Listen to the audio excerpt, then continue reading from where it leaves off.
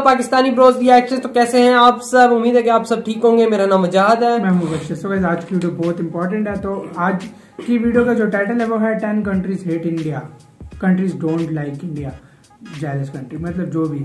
तो आ, ये वीडियो का टाइटल है मतलब ऐसे कंट्रीज़ जिसमें बताए जाएँगे कि मतलब जो हेट करते हैं। तो यार पहले देखते हैं वीडियो उसी के बाद और बातें Exactly, क्यों मज़ा बिल्कुल। तो स्टार्ट करते हैं तो काउंट डाउन इसमें कौन सी कंट्रीज़ हैं वो अभी पता लग जाएगा। बिल्कुल न्यू लिस्ट है 2020 की।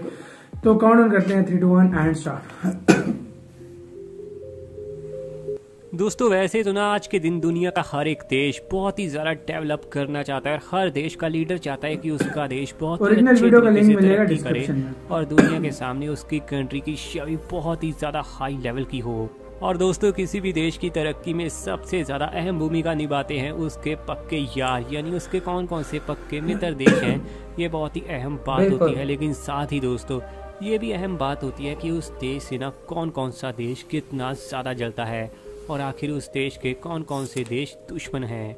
वैसे तो वर्ल्ड वार टू के बाद दोस्तों हर देश चाहता है कि उसकी तरक्की में दूसरा देश मदद करे ताकि वो भी दूसरे देश की तरक्की में पूरी मदद करे। लेकिन इसी बीच कुछ ऐसे भी देश होते हैं जो एक दूसरे की तरक्की से पूरी तरह से जलते हैं जिसके चलते दोस्तों एक देश ना दूसरे देश की बर्बादी के लिए कुछ भी कर सकता है। और ऐसे ही हम्म। दोस्तों दस देश हैं पूरी दुनिया में जो इंडिया को बर्बाद करने के लिए ना किसी भी हद तक जा सकते हैं। क्योंकि दोस्तों दुनिया के ये दस देश जो आपको मैं बताने वाला हूँ ना ये इंडिया से बेहद ही ज़्यादा नफरत करते हैं। तो चलिए दोस्तों ये वीडियो ना काफ़ी ज़्यादा इंटरेस्टिंग होने वाली है। बहुत ज़्यादा interesting है, पता लगे ना। हम जानेंगे कि आखिर पूरी दुनिया के वो कौन कौन से देश हैं जो इंडिया से काफ़ी ज़्यादा नफरत करते हैं और इंडिया से ये चलते हैं।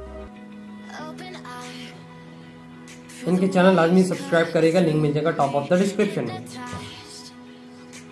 नंबर दस पर दोस्तों नाम आता है ऑस्ट्रेलिया। ऑस्ट्रेलिया। ओशनिया में बसा हुआ दोस्तों ये देश। वैसे तो बहुत ही ज़्यादा डेवलप है और इंडिया के लोग काफ़ी ज़्यादा इस देश में बसे हुए हैं। में बहुत है। लेकिन यही तो दोस्तों इस देश के नागरिकों की असली प्रॉब्लम है उनको प्रॉब्लम ये है इंडियंस को यहाँ बड़ी ही तेज़ी से सिटीजनशिप मिली है जिसके चलते हाँ। ऑस्ट्रेलियंस को यहाँ पर जॉब मिलने में अच्छा काफ़ी की वजह से। हो है। ये है। अमेरिका में भी बात ले ली तो इंडियन समय ने। दोस्तों दोनों ही देशों के संबंध काफ़ी ज़्यादा ठीक ठाक थे।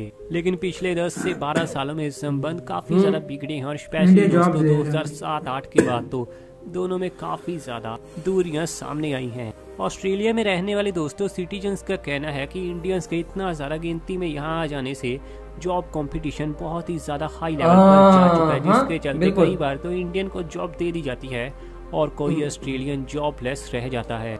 और सीधा हाँ, सीधा तो लॉजिकली तो इंडियंस के चलते ही ऑस्ट्रेलियंस खुद अपने देश में ही इनसिक्योर फील करते हैं। नंबर नौ पर दोस्तों नाम आता है श्रीलंका का। ये तो वैसे? पड़ोसी देश है लेकिन ये हमारा पक्का मित्र नहीं है भले ही पड़ोसी है लेकिन फिर भी दुश्मन है जिसकी ना दोस्तों एक बड़ी वजह भी है।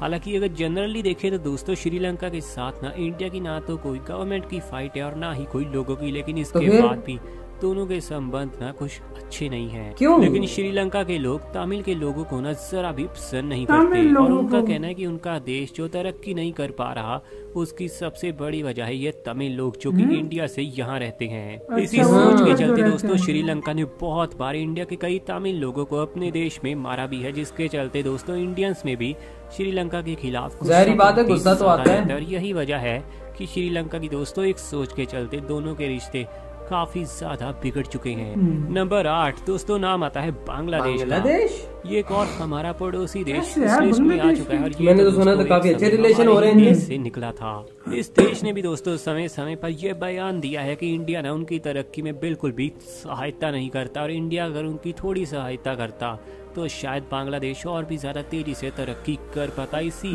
कम के से कर रहे हैं। इंडिया और बांग्लादेश के संबंध आपस में कभी भी बहुत ज़्यादा परफेक्ट और बेस्ट फ्रेंड वाले नहीं बन पाए जिसकी सबसे बड़ी वजह है बांग्लादेश के लोगों की सोच। हालाँकि दोस्तों पिछले पाँच सालों में दोनों ही देशों के रिश्ते ना बहुत ही ज़्यादा अच्छे से सुधरे हैं और उम्मीद करते हैं कि दोनों ही देश ना फ्यूचर में अच्छे खासे दोस्त भी बन जाएँ। नंबर सात पर दोस्तों जिस देश का नाम आता है वो है टर्की टर्की दोस्तों ये वही देश है जो एक समय पर आज से कई साल पहले ना एक बहुत बड़ी सुपर पावर कंट्री रह चुका है उसका रुतबा तो दोस्तों एक समय बहुत ही ज़्यादा हाई लेवल पर हुआ करता था लेकिन आज के दिन दोस्तों इस देश का रुतबा ना बिल्कुल खास नहीं रहा।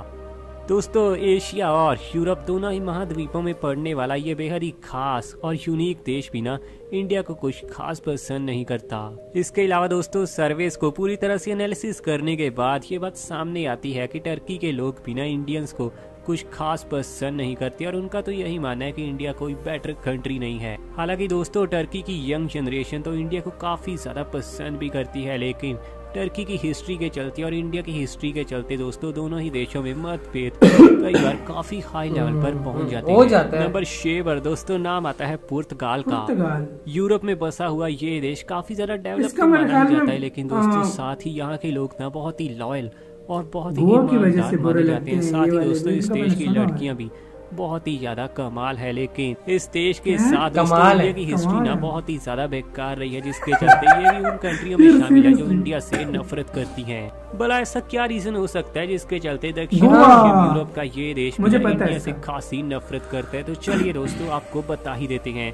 ये बात है आज से काफ़ी साल पहले की। इस हेट यानी नफरत की दोस्तों मेन वजह है 1961 की हुई वॉर अगर आपको दोस्तों नहीं पता तो मैं आपको बता दूँ 1960 के साल तक गोवा इंडिया के अंडर नहीं था। और उस समय दोस्तों गोवा पुर्तगाल पुर्तगाल की एक कॉलोनी थी। और इस पर पूरी तरह से पुर्तगाल का ही कब्जा था। लेकिन 1961 के साल में पुर्तगीज को दोस्तों वॉर में हराकर इंडिया ने गोवा को अपने अधीन किया। और उसी दिन के बाद दोस्तों पुर्तगाल काफ़ी ज़्यादा हमसे जलता है क्योंकि हमने उनको वॉर में हराकर अपना हिस्सा अपना गोवा वापस हासिल किया। हम्म। हालाँकि दोस्तों ये दुश्मनी ना काफ़ी पुरानी हो चुकी है और आज के दिन की यंग जनरेशन जो पुर्तगाल है, generation वो कोई तो किसी को काफ़ी ज़्यादा पसंद भी करती है। नंबर पाँच पर दोस्तों नाम आता है यूके यानी यूनाइटेड किंगडम का। काफ़ी सारे लोग तो दोस्तों यूके का नाम सुनकर काफ़ी हैरान भी हुए हाँ, आपको हूँ। लगता है की आज के दिन इंडिया और यूके के संबंध आपस में काफ़ी बेस्ट हो रहे हैं लेकिन दोस्तों हिस्ट्री भूलना ये लोगों की बातें नहीं है स्पेशली हम्म। यूके के लिए। एक समय पर दोस्तों इसी यूके ने ना इंडिया के ऊपर पूरी तरह से कब्जा किया हुआ था हाँ, लेकिन आज के दिन इंडिया खुद एक बहुत ही ज़्यादा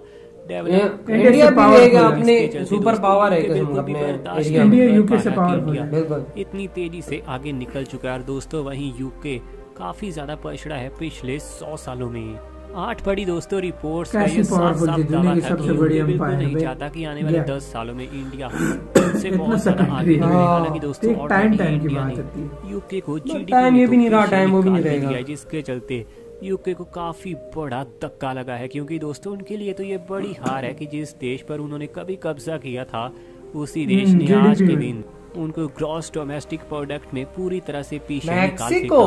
नंबर चार पर दोस्तों नाम आता है मैक्सिको का यानी अमेरिका का दोस्तों पड़ोसी देश हाँ, दोस्तों वैसे तो इंडिया के ना कोई भी बुरे संबंध नहीं है ना ही कोई पूरी फाइट है लेकिन दोस्तों बहुत सारे इंडियन स्पेशली पंजाबी लोग ना मैक्सिको के ज़रिए अच्छा। अमेरिका में प्रवेश करने के चक्कर में मारे भी जाते हैं और दोस्तों बहुत सारी लड़कियों के साथ मैक्सिको में जो इंडियन है उनके साथ रेप भी होता है। पिछले साल तो दोस्तों डोनाल्ड ट्रंप ने भी मैक्सिको को सीधे सीधे चेतावनी दी थी कि अगर कोई भी इंडियन मैक्सिको से होकर अमेरिका में पहुँचता है तो मैक्सिको के लिए ना खबर अच्छी नहीं रहेगी। इसी डर के चलते दोस्तों मैक्सिको ने बहुत सारे इंडियंस के साथ बैड बिहेव करके उन्हें वापस इंडिया भेजा जिसके चलते दोस्तों यार, बात है फिर के है ना। आज के दिन कुछ खास अच्छे नहीं है और वैसे भी दोस्तों मैक्सिको में बहुत सारे इंडियंस की लाशें बिछी हैं जिसके चलते दोस्तों आज के दिन बहुत सारे इंडियंस लोग पर्सनली तौर पर ही मैक्सिको देश को कुछ खास पसंद नहीं लेकिन अभी अच्छे हो रहे हैं। अभी तो बड़े लोग लेकिन लोगों की बात में भी वैसे तो इस देश के साथ। इंडिया के संबंध ना कुछ खराब नहीं है काफ़ी अच्छा दोस्त भी कह सकते हैं हम इसे लेकिन दोस्तों हाँ। कुछ ऐसी भी वजह है जिसके चलते काफ़ी सारे इंडियंस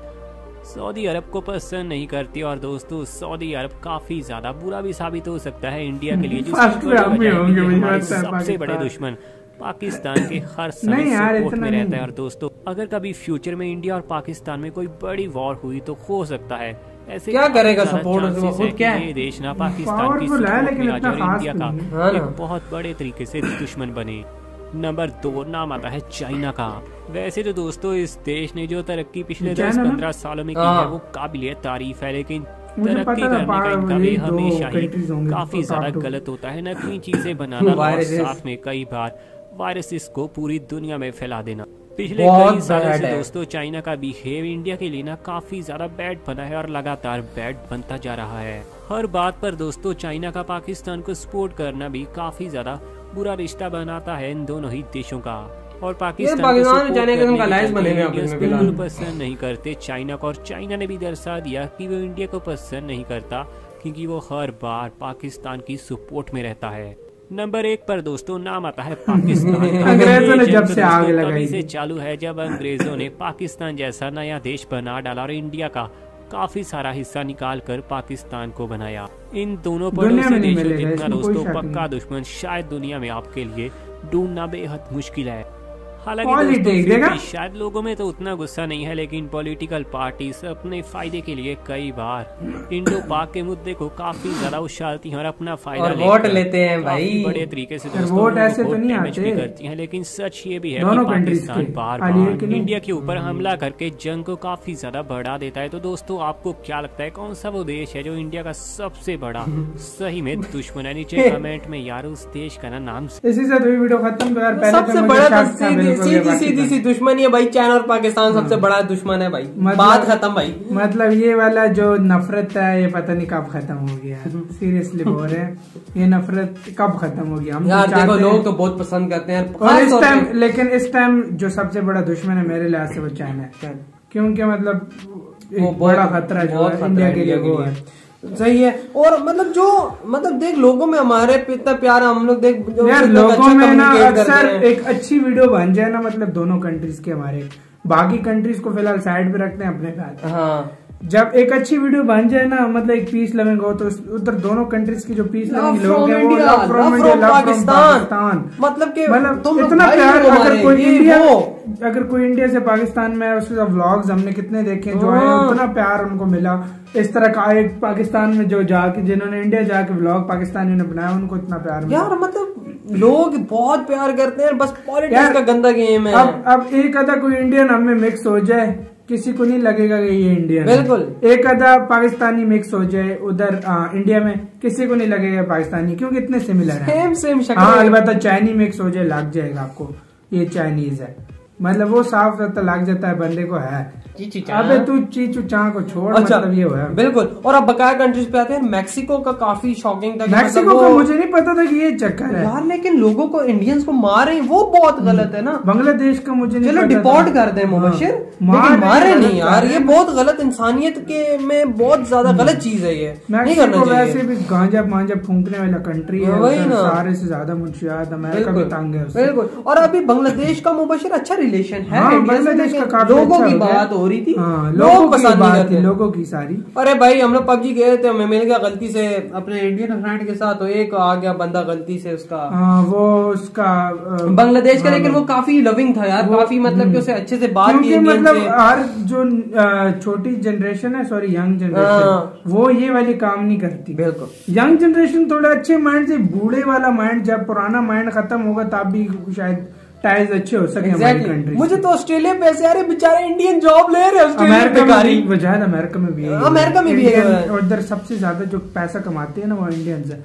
यार, मोस्टली कंट्री। सबसे ज़्यादा इंडियन अब सबसे मज़े की बात नासा में 36 परसेंट तो इंडिया से बकाया सारे अमेरिकन तो होंगे हाँ, नहीं। हाँ। कोई रशियन ये वो इधर उधर के भी होंगे। तो समझ आए इंडियन ही ज़्यादा है मतलब इंडियन आई क्यू ज़्यादा है? तो यार मतलब आप बताओ यार आपको मतलब कौन सा कंट्री लगता है जो इसमें होना चाहिए था और जो नहीं होना हम्म। चाहिए था? वो कमेंट सेक्शन में बताना इधर वीडियो खत्म करते हैं अपना बहुत बहुत ख्याल रखना। तो बाय